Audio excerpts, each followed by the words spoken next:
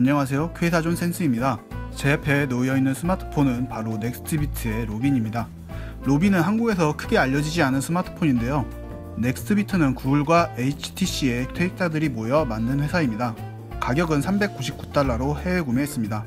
우선 패키징은 전체적으로 Nextbit의 대표 색상인 하얀색과 민트색으로 되어 있습니다.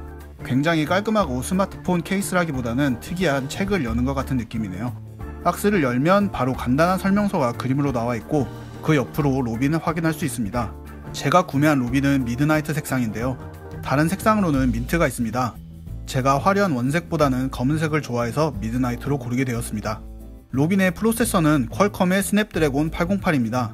액정은 5.2인치 FHD 해상도의 IPS LCD 패널, 카메라는 후면이 1300만 화소, 전면은 500만 화소입니다. 메모리는 3GB이며 저장 공간은 32GB, 그리고 Robin의 특징이라고 할 수 있는 클라우드 100GB 용량을 제공합니다.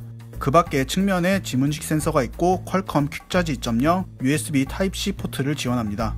다시 돌아와서 Robin은 다른 스마트폰들과는 다르게 둥글게 처리된 금속이나 유리 재질이 아닌 각진 테두리로 되어 있고 matte 재질이라 가격에 비해 고급스러운 느낌이 듭니다. midnight 컬러는 검은색이라기보다는 charcoal 색상에 더 가깝고 오른쪽 측면에 전원 버튼은 민트 컬러로 포인트를 주고 있습니다. 한국에서 흔히 볼 수 있는 안드로이드 폰과는 다른 스마트폰이라고 생각합니다. 그리고 저는 케이스를 총 4개 구매했는데요. 한국에서는 Robin을 지원하는 케이스를 구하기 힘들기 때문에 그냥 같이 여러 개 주문했습니다.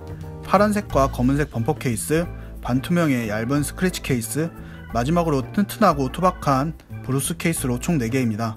충전기도 추가로 구매해야 합니다. 충전기가 패키지에 같이 포함되어 있지 않은 건 조금 아쉽지만 그래도 Robin 가격 자체가 399달러로 굉장히 낮기 때문에 어느 정도 이해할 수 있지 않을까 싶습니다. 넥스비트 로빈은 국내 통신사를 통해 정식으로 출시된 스마트폰이 아니기 때문에 한국형 어플리케이션이나 로빈의 특징인 클라우드 100GB 용량을 정상적으로 사용할 수 있을지는 써봐야 알 수 있을 것 같습니다. 로빈은 저렴한 가격과 독특한 외형이 돋보이는 스마트폰으로 국내에서 잘 볼 수 없는 폰을 사용해보고 싶은 분이라면 관심을 가져보는 것도 나쁘지 않다고 생각합니다.